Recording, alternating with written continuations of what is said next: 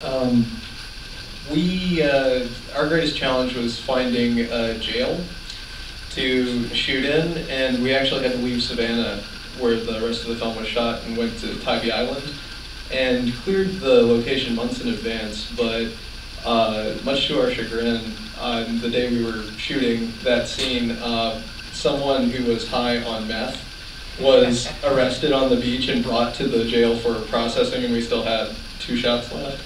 And so he was screaming at the top of his lungs, and we had I want to. my phone call. He wanted his phone call. And, again. I want my phone call.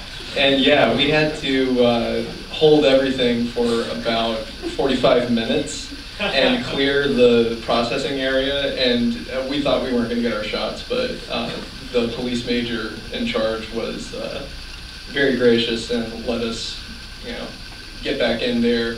Uh, they detained the prisoner in a running van outside so we could get our last two shots, MOS. And uh, yeah, that, that was kind of the uh, worst part of our entire project. So I, they might have. I, I think they did.